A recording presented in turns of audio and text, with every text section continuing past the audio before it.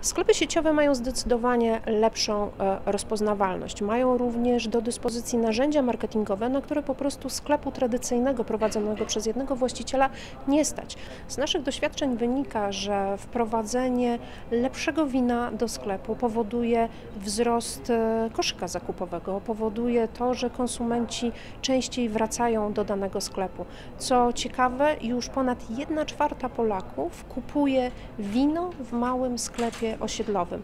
E, Ta dana pochodzi z raportu Polacy w świecie wina. W Polsce najważniejszym medium e, dotarcia do konsumenta jest nadal telewizja, ale na drugim miejscu jest to gazetka reklamowa. Wydawałoby się, że jest to śmieć, które trafia do naszych skrzynek. Często tak nie poświęcamy temu wiele uwagi, natomiast konsument korzysta z tego, e, robi zakupy, posiłkując się właśnie gazetką reklamową.